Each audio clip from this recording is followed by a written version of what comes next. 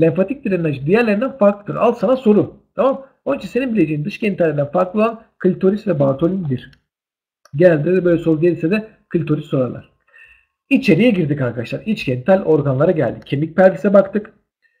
Ee, pelvisin kaslarına baktık. İşte bu dış kaslardaki peneal cisme tutunanlar, tutunmayanlar vesaire bunlara baktık. Levatorani'yi işledik genişçe.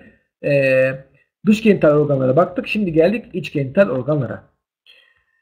İç genital organlar arkadaşlar ilki vajina. Yani vajina dış genital organ değil. iç genital organ. Vajina üst kısmı bak üst kısmı 3 üst 2 bölü 3'ü Mülleryen kanaldan. Bak vajina biraz değişik. Birazcık değişik vajina. Vajinanın üst 2 bölü 3 kısmı Mülleryen kanaldan. Embriyolojik olarak Mülleryen kanaldan. Mülleryen kanalın diğer ismi nedir arkadaşlar? Paramezonefrik. Paramezonefrik. Kadınlar parayı sever arkadaşlar. Paramezonefrik kadınlarındır. Mezonefrik erkeklerindir. Kadınlar parayı severler. Paramezonefrik kadınlarındır. Mezonefrik erkeklerindir. Tamam Erkeklerin embriyolojik yapılarıdır. Vajen yani Mülleryen kanalı diğer ismi neymiş? Paramezonefrik kanalmış. Ee, pardon. Vajen epiteli. Şimdi burada üst, üst kısmı Mülleren kanal demiştik. Alt kısmı da arkadaşlar alt 1 bölü 3'ü vajenin de ürogenital traktustan oluşur. Ürogenital traktustan oluşur embriyolojik yapı olarak. Vajen epiteli çok katlı non-keratinize yassı epiteldir. Diğer ismi arkadaşlar squamöz epiteldir. Diğer ismi squamöz epiteldir. Not alalım. Vajenin submukozal tabakası bulunmaz. Vajende submukozal tabaka histolojik olarak yoktur. En geniş kısmı ile birleştiği bölümdür arkadaşlar. Buraları biz fornix deriz. Fornixler yani çıkmazlar. Şurada yanlarda ve önler arkada 4 tane var. Mesa, önde mesane trigonu vardır. Arkada da Douglas ve rektum ile komşudur. Duvarlarında enlemesi seyreden pek çok kıvrımlar vardır. Bak şöyle görüyor musun kıvrımları? Vajende. Böyle tırtıklı şeklinde kıvrımlar vardır arkadaşlar. Biz bunlara kolumla rugarum diyoruz. Kolumla rugarumlar erektildir arkadaşlar. Erektildir. Erektildir kolumla rugarumlar. Vajen destekleyen yapılarımız var arkadaşlar. E, çünkü düşünün vajen bir boru şeklinde bir kanal ve sonuçta sağa sola sallanacak hali yok. Bunları vajeni yerinde tutan bazı yapılarımız var. Vajeni destekleyen yapılarımız. Nelerdir? Seviye 1 kardinal ve uterosakral ligamentler. Kardinal ligament ve uterosakral ligamentlerimizin yukarıdaki bizim uterusun bağları. Kardinal ligament şurada. Uterusun en güçlü bağıdır. Bunları söyleyeceğim yine ama burada bir protein sentezi yapalım beynimize. Kardinal ligament uterusun en güçlü bağıdır ve uterosakral ligament şöyle arkaya doğru giden ligamentimiz bizim vajenimizi üstten destekler. Üstte yerinde tutar üst kısmını. Bordun üst kısmı. Bordun orta kısmını, vajen orta kısmını parakolpium dediğimiz kolpium vajen demek zaten. Kolpium işte ee, şeyin vajenin etrafındaki dokular yapar. Seviye 3, Delancey 3 seviyesinde de arkadaşlar ne var dışarıda? Perineal cisim var. Özellikle levator ani burada yerinde tutar. Vajenin alt kısmını diyebiliriz. Vajanda bez yapısı bulunmaz dedik. Hatta dedi ki ıslaklığı sağlayan değil mi? Çok ilginç gelmişti bana ilk başta. Allah Allah yani ıslaklığı vajen hiçbir şey salgılamıyor. Servisten yukarıdan ve alt tarafta Bartolin bezinden geliyormuş. Vajende bez yapısı bulunmaz. Vajen ile serviks arasında oluşan çıkmazları da biz arkadaşlar fornix diyoruz. Bak şurada yanda çıkmaz var. Fornix. Şurada çıkmaz var. Fornix. Lateral fornixlerimiz. Posterior fornix en derin olandır. Burada klinik bir önemi var arkadaşlar. Şurada aşağıda bakın bir kuldosentez işlem var. Yani çok sık yapılan bir işlem değil. Ben de şu ana kadar iki kere yaptım bunu ama burada serviksi tek dişli dediğimiz tenekulum. Hani bilmiyorum belki bilenler vardır. Tenekulumu böyle kaldırdığımız zaman servisin ar arka e, dudağını böyle fornix'i görürsün. Buradan iğneyle girdiğin zaman nereye komşusun? Douglas çukuruna bak. Çünkü uterusun arkasında ne var arkadaşlar?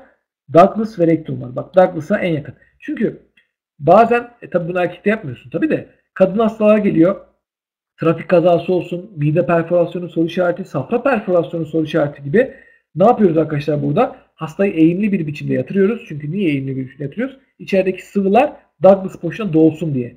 Şöyle bir 45 30-45 arası bir eğimle yatırıyoruz ve e, buradan posterior fornix'ten iğneyle girip ultrason eşliğinde yapıyoruz çoğu zaman. Hani e, yap, yapmasan da olur. Hani Douglas'a gidiyorsun zaten. İğneyle girip buradan çekiyorsun buradaki sıvıyı. Tamam Kuldosentezi de bu bölgeden yapıyoruz. Posterior fornix'ten unutmuyoruz. Tamam Posterior fornix'ten. Anlamayan var mı burayı? Anlamayan varsa lütfen yazsın. Yok. Vajene geldik arkadaşlar. Vajina epiteli östrojeni duyarlıdır. Vajen e, epiteli. Östrojen duyarlıdır ve östrojen devreye girdiği zaman kadınlarda. Kadınlarda ne zaman östrojen devreye girer? Menarş başladığı zaman. E, adet görmeye başladığı zaman kızlar e, yumurtalıklar yani ovaller çalışır. Buradaki foliküler östrojen üretir ve östrojen hakimiyetine girer. Ondan önce östrojen hakimiyeti yoktur. İşte bizim vajenimizde östrojen hakimiyetine girdiği zaman epitelde glikojen depolanır. Epitelde glikojen depolandığı zaman çünkü sonuçta epiteli düşünün e, epitel dökülüyor tekrar yapılıyor. Dökülüyor tekrar yapılıyor. İşte bu dökülen epitelde vajendeki glikojeni kim yiyecek? Vajendeki baskın olan, vajinal florada baskın olan laktobasiller yiyecek ve laktik asite dönüştürecekler. Laktik asite vajinal pH'i ne yapacak? Aside doğru kaydıracaktır. Tamam. Yani ne oluyor?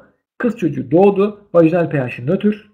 Doğdu, büyüdü. 3, 4, 5, 6, 7, 8, 9 yaşları işte 13 yaş arasında adet görmeye başlıyor. Teşekkür ederim. Ee... tamam. Bir an koparttım. Ee, burada e, vajinal epitelden çocuk 9 yaş ile 13 yaş arasında geliyor ve burada arkadaşlar e, adet görmeye başladığı zaman ovaryadaki foliküller östrojen etmeye başladığı zaman ne oluyor vajinal epitelde? Glikojen depolanıyor. Glikojen depolandığı zaman e, burada bizim neyimiz var? Laktobasitlerimiz var. Dökülen epitelleri laktobasitler hazır burada yiyeceği buluyorlar. Laktobasil adı üzerinde laktobasil, laktik asit üretecekler. Burada laktobasiller o glikojeni yiyip laktik asit üretiyorlar ve senin vajinal pH'in ne yapıyor? Aside doğru kaydırıyor. Demek ki adet gören bir kadın, üreme çağındaki östrojen hakim olduğu bir kadının vajinal pH'i nedir? Asittir. Niye bu kadar uzun anlatıyorum? Yani okuyup geçebilirim ama burası çok temel bir nokta arkadaşlar. Buradan bir sürü şey anlatacağım. Bu asititenin oluşumundan glikojen depolanıyor. Oradan asit üretiliyor falan. Bunlardan bir sürü şey daha anlatacağım ileride. Burada bir giriş yaptım sadece. Burada aklınıza kalır. Arterlere baktığımız zaman vajina arkadaşlar bir sürü yerden e, kan alır. Bir sürü yerden anastomoz vardır. Özellikle besleyende arkadaşlar arteri interna, e, internal iliak arter yani diğer adı da hipogastrik arter diye geçebilir. Hipogastrik arter.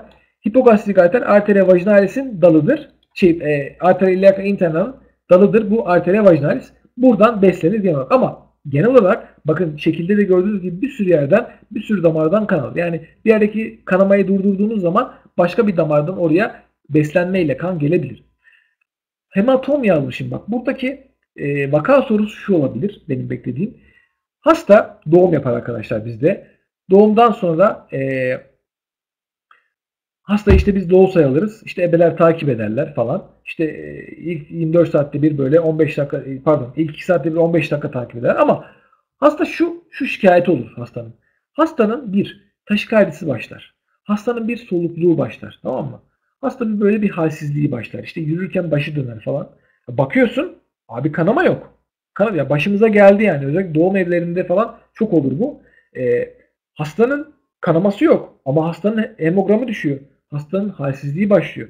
Ve hasta şunu söylüyor. Ya hocam ben altında bir baskı hissediyorum. Yani tuvalete gidiyorum ama tuvalete çıkamıyorum. Yani tuvalete de gidemiyorum. Ya ama bir sürekli bir tuvalete gitme hissi var.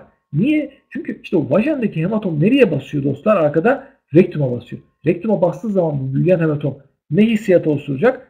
Tenezin yani lavaboya büyük abdestine gitme hissiyatı, defekasyon hissiyatı oluşturacak. İşte geçmeyen defekasyon hissi hastadaki bu e, özellikle e, hemogramda düşme veya hastada halsizlik taşikardi başlaması gibi preşok durumlarda o zaman mutlaka hematom aklımıza gelecek. Normal doğumlardan sonra çok görürüz. Yani çok bu kanamalar çok pistir arkadaşlar e, kadın doğumda. Yani hani 7 ya 5 yıllık uzun 5 yıl bitti ama e, bizim abilerimiz ablalarımız da aynı şekilde. Böyle atoni olduğu zaman kanama olduğu zaman birden yani gerçekten böyle elimiz